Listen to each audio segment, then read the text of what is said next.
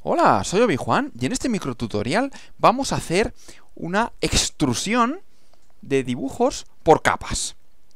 Vamos a hacer el logotipo en 3D de la Obi-Juan Academy que, si os fijáis, está formado por, por dos capas. Tiene una capa que tiene una anchura y luego tiene otra capa que tiene otra anchura. Pues la manera de hacer esto lo vamos a hacer igual que en el tutorial pasado. Vamos a partir primero de la imagen que queremos extruir y lo vamos a dividir en capas. Primero, vemos aquí las capas, tenemos la, capa original, pues vamos a, en esta capa vamos a importar el logotipo de la Obi-Wan Academy. Podría ser cualquier otro logotipo, pero vamos a utilizar este de ejemplo. Esto lo ponemos aquí. Lo voy a hacer un poquito más pequeño y lo ponemos aquí en el centro. Y esta capa la bloqueamos. Ahora vamos a añadir una capa nueva que vamos a llamar capa 1. Y en esta capa lo que vamos a poner es el, nivel que está más abajo, que es esta parte de aquí, la parte que está amarilla, que tendrá una anchura determinada. Para hacerla, pues lo hacemos igual que en el tutorial pasado, vamos a calcarla.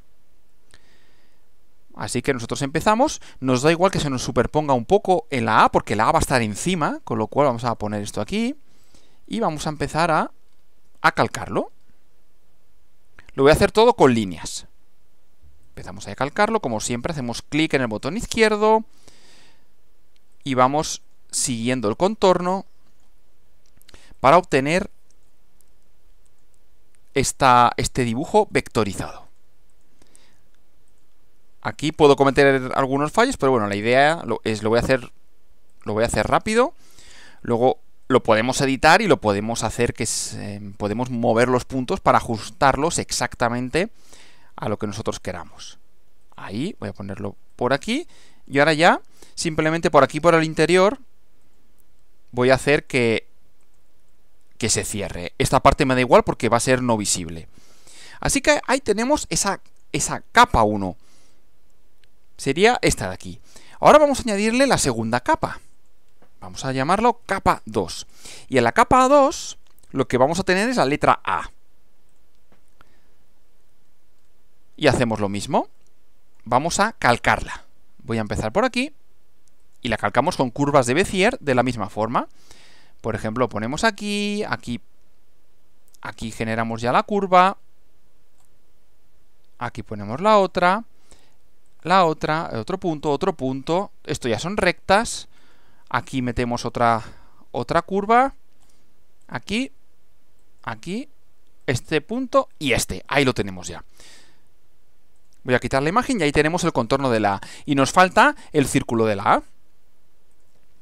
Que lo hacemos igual que hicimos el smiley, la carita sonriente. Pues lo mismo, la ponemos aquí. Hacemos un círculo y este círculo lo colocamos aquí.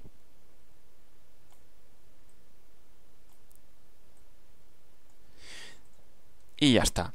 De manera que ahora tenemos ya dos dibujos. En la capa de abajo tenemos este y en la capa de arriba tenemos este. Pues bien, todos estos dibujos, como ya hemos hecho las otras veces, estos los convertimos todo en líneas rectas y lo exportamos como un único fichero de XF. No lo voy a hacer aquí para que el tutorial sea, sea más rápido, para no perder tiempo.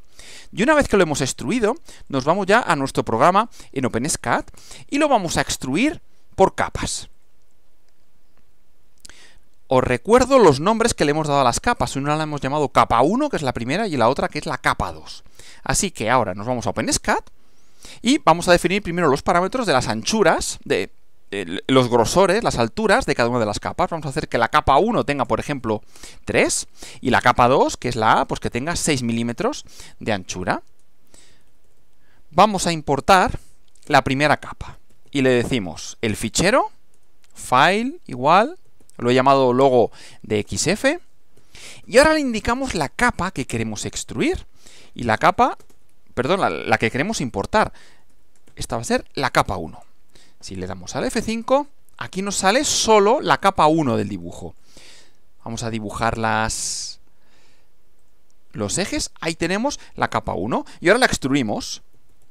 Linear, extrude, height, y le damos la altura 1. Ahí está. Y ahora hacemos lo mismo, pero con la capa 2. la importamos del mismo fichero, porque lo hemos exportado todo con un solo fichero, pero le decimos que queremos la capa 2. Y aquí nos sale la capa 2. Ahora la vamos a extruir. Linear extrude, una altura igual a h2. Aquí la tenemos y para resaltarla la vamos a poner en otro color. Color red. Pues aquí tenemos ya nuestro logotipo de la Obi-Wan Academy que está formada por dos capas diferentes.